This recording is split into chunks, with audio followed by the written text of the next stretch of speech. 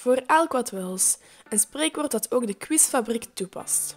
Zij bieden namelijk vier themaquizzen aan, elk met zijn eigen succes en doelpubliek. De eerste is de ludieke trivia quiz en deze is bedoeld voor de beginnende quizzer. Tussen de vragenrondes door zijn er duels waarin verschillende teams het opnemen tegen elkaar in bijvoorbeeld armworstelen of pingpongen. De tweede quiz is de Geek Quiz.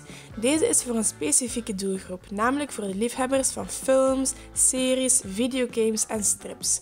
Ook in deze quiz worden de vragen afgewisseld met duels. De volgende is de digitale kennisquiz. Deze quiz is bedoeld voor gevorderden. Bekend in deze quiz is de bliksemronde.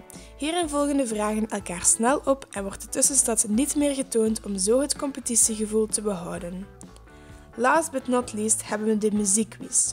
Dit is de meest recent toegevoegde quiz en de naam verklaart al veel, maar in deze quiz wordt het duidelijk wie de grootste muziekliefhebber is.